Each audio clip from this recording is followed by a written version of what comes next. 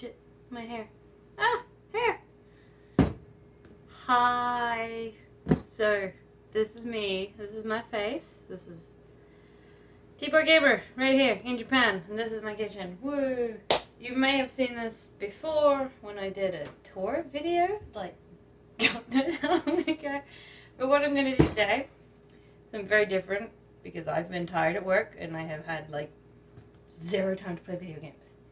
We are going to make, I don't even have, oh I do have a packet. We're going to make Japanese curry and rice, which is pretty simple, but when your kitchen is this big, yeah, bit more of a challenge. So actually, before we even touch this stuff, which I'm going to put up there, we need rice. Now, I buy rice in like big bags, and I fill up this. So this is kind of, when this is more like here, this is how much rice I tend to go through in, what's it been, two, three weeks? That's how much rice I eat. Because I eat rice almost every day. Depends on what happen, what happens with work and stuff. So what we do, what I do, this is a wonderful thing. It's a cup, and it has lines to tell you how much rice. Now I actually only eat half a cup of rice at a meal, but it, the rice cooker is quite big. So I have to cook at least one cup of rice. So what we do is we shove our hands in there and we get a cup of rice. And into the pot it goes. I am just going to return this pot to its, this pot, not the rest pot, this pot over here, where it belongs. And our next step is, you can maybe see, wait, where are we? There. There are lines on the inside, and that's actually telling you how much water. So, I will circle the one that's how much water for white rice. There's actually other kinds for sushi rice and stuff, but eh. So what we do is before we even can cook the rice, we have to wash the rice, which is a step that isn't really done in the UK and stuff. So we get our water, and we literally hand in. That's a great sound to have in a YouTube video. We mix and mix and mix. And the water goes very, oh you can't see. Very cloud. No, you can't see that at all. Open up. Well, it's not drop the phone. It's all this starch. You also just saw my sink. Let's put that back in a little standy thing. I don't actually have a tripod for my phone. So, there we go. So it's, I'll show you what it's standing on later. It's wonderful. So we have to do this like three times ish, I think is the recommended. I think realistically it's until the water does not go cloudy, but that's, eh. Men upset. So I'm just going to be here and do this. The light keeps changing because of, I wonder if it's going to be better if I turn this one off as well, because my lights are not very good in here. So I'm just going to keep polishing my rice, because this is the thing I have to do. Be with you in a second.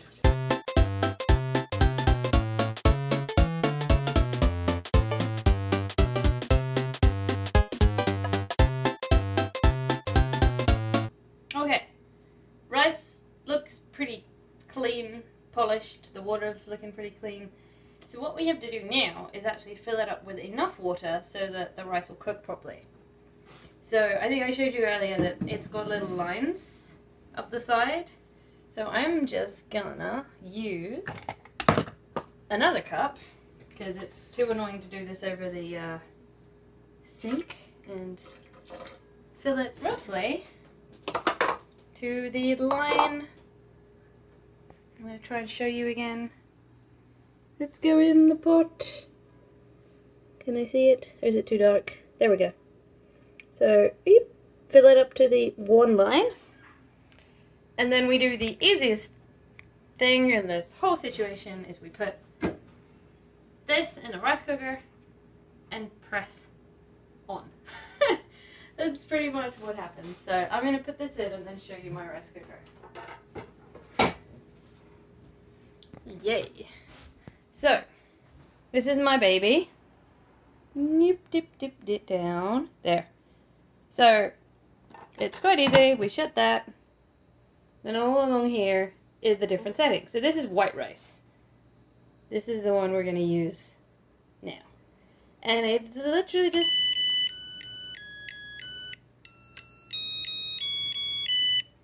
The rice is now cooking. Everything sings in Japan. Everything sings. Okay. So, are we good? Yes. So next up, we're going to start on the curry sauce. Now this usually takes the rice about 45, 50 minutes to cook, which seems like a really long time. But I don't gotta do nothing to that. When I cook it in a saucepan, gotta keep stirring, gotta keep stirring, because otherwise the rice will burn the bottom of the pan. So, I got my pan, saucepan thing, which is the lid's dirty. Don't need the lid yet. So there's, that's gonna go in there. I should add water. We need some water.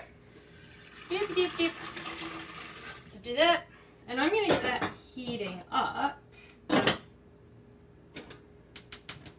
Yay, gas burners! Oh, that would help if the flame, there we go. So, next up, chopping board. Knife, and the staples for Japanese curry and rice are onion, potato. This is a potato. I know it's very small, but it is a potato. And carrots. Now, my potato is sprouting. I only have one potato, which is fine. I'm going to put another vegetable in to um, sort out everything, but we're going to put that there for a second. It's time to do some slicing and dicing. Now, hang on. If I do it here, you can't see me. So I am going to get my wonderful green contraption, which goes over my sink and gives me more space because otherwise this this is the space I have to work with, the space the size of a singular chopping board. And I get more space. So we're just gonna, is that good enough? Yeah, that works. You can see kind of what I'm doing. So I got my bag of onion. Just gonna the tops off. Skinnier. Ooh, okay. I got a slightly funky onion that I'm gonna deal with. Gotta get rid of the nicky bits. Dip, dip, dip. Go, onion, be gone. So, let's get rid of that bit as well. Okay? Eh, there we go. Easy. Now, they tend to cut it quite chunky in Japan. I go for slightly smaller cuts. But, eh, whatever Side. Eh, don't go under the thing. Whatever size you're comfortable with. I used to chop it a lot finer. My water is boiling.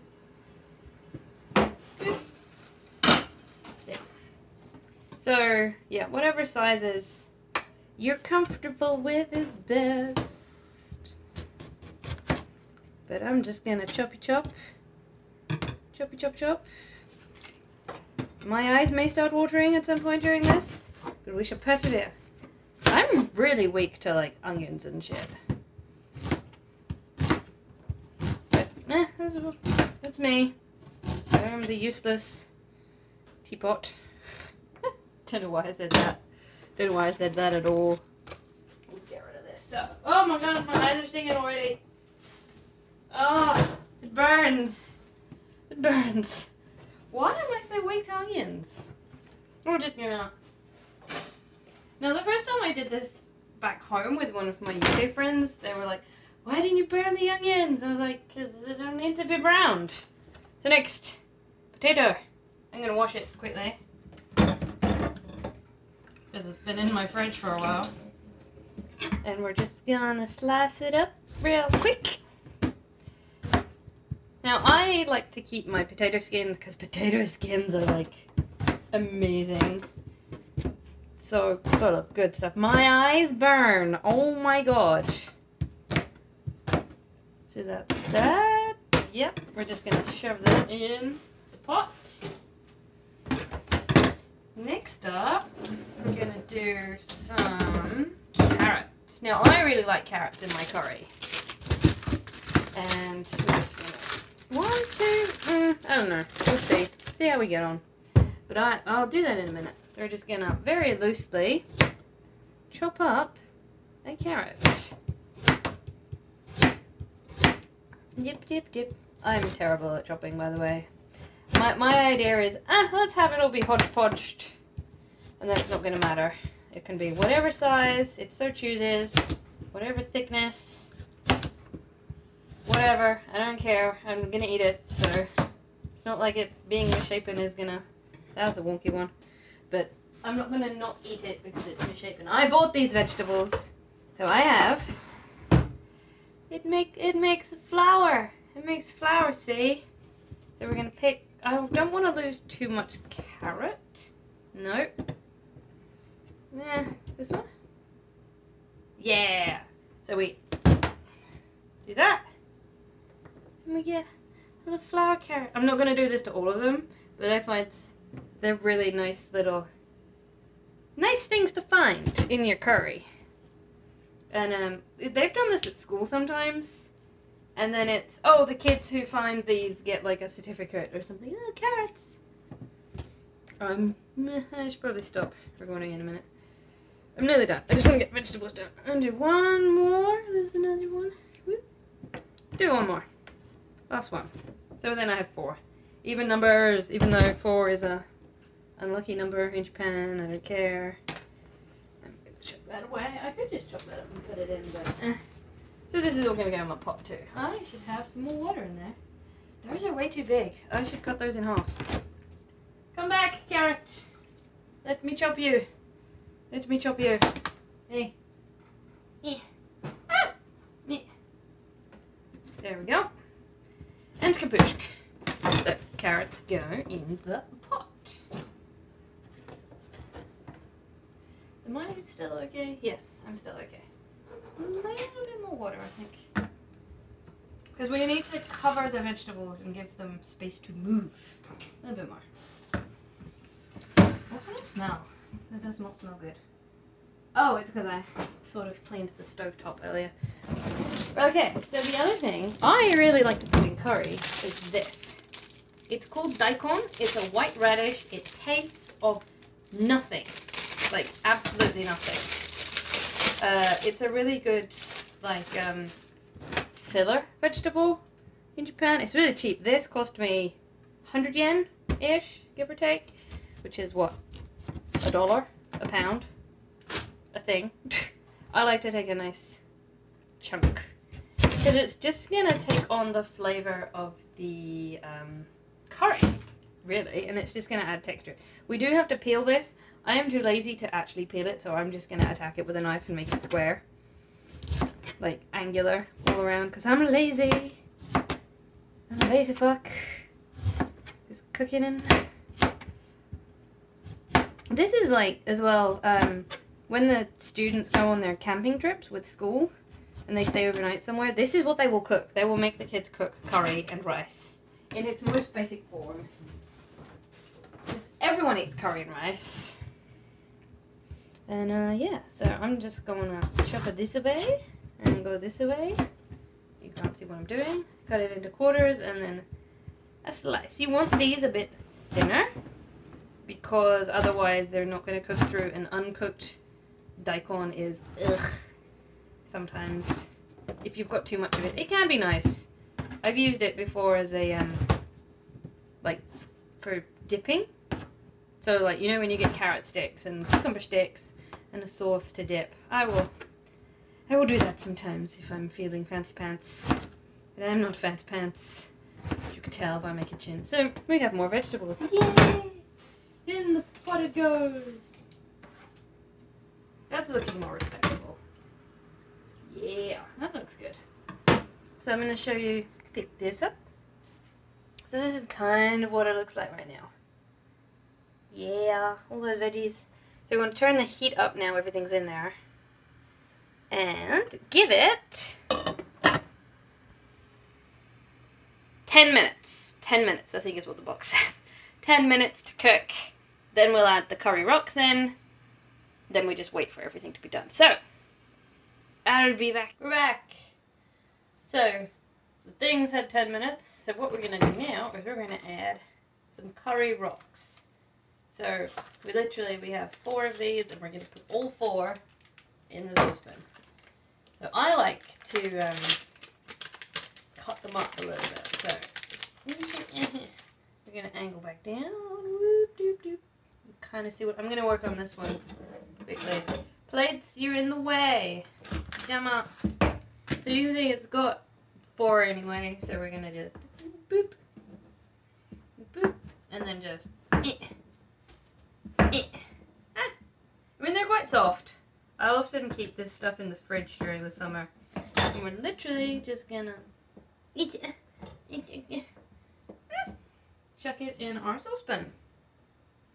Then we take a wooden spoon, remove the camera so people can see what's going on, and stir, stir, stir. Now this, I now pretty much just leave and come back every couple of minutes. Look at it, it's taking on the color. I leave, come back in like time. Let it turn that up a little bit.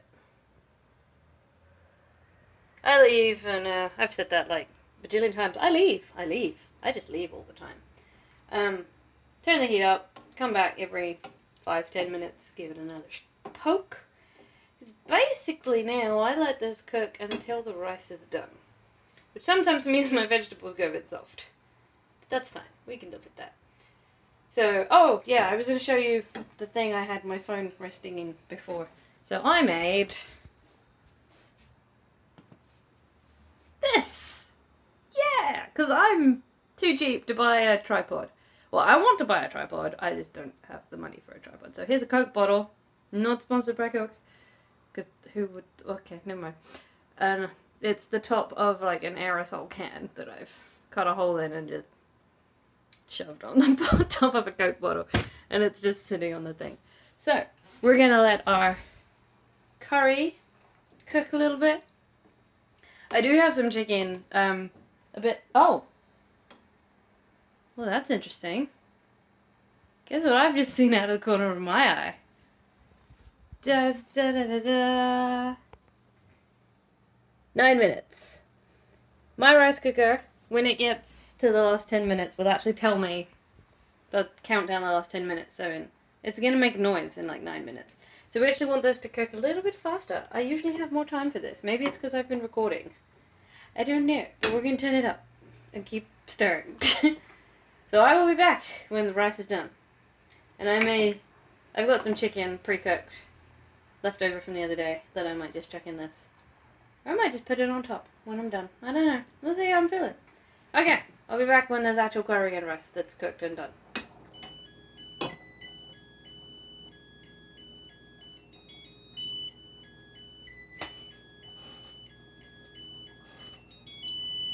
And the rice is done. So, for Japanese rice cookers, you need one of these things. It's a rice spatula bob. So, because you can't just like scoop it out, it's a sticky rice. So we gotta wet the spatula. And I don't know how to do this because I got nowhere to put the standy thing and I'm gonna be in the way. Let's eat, eat. There's the rice cooker. It? So we gotta. Boop. We go in. Woo, so much steam. Give it a bit of a poke first. And then just eh. To take about half of what I put in here. Just about that much.